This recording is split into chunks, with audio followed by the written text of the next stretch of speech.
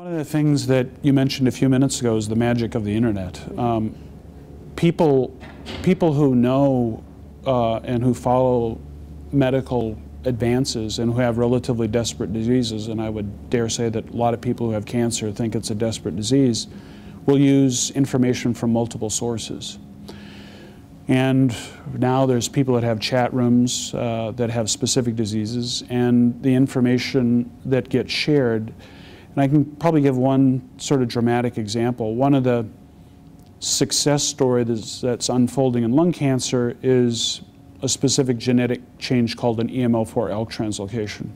What that means is that we have 23 chromosomes, that's their packages of genetic material.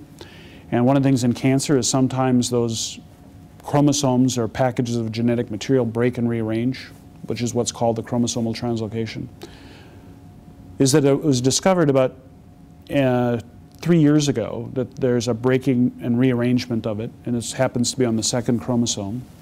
And it activates something called anaplastic lymphoma kinase, or ALK.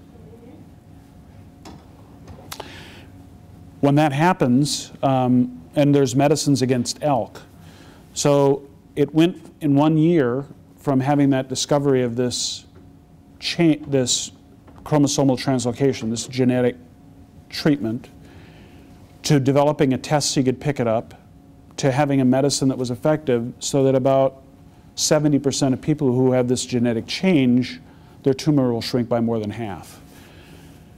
So as I said before, it took about a year till you had the first index case, and now the first trial by the middle of 2009, they treated about 30 or 40 people with this particular abnormality. And once again, about 70% of the people's tumors shrink by more than half, and it stays away for between six months to a year on average.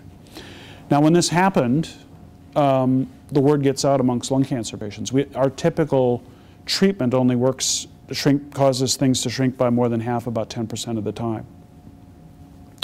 Once again, this is one of these targeted therapies. This gets out there and people want to have this test and people contact you from all over the country to find it. So last week I had somebody that came from Pennsylvania to specifically get their tumor biopsied so they could find out if they had this genetic change to be able to find out. So people find it out.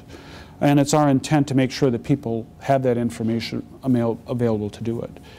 The other part that is helping is that there are things called patient advocates. These are people who have learned about the advances in lung cancer and make it their point to have this information available on websites that people can use it.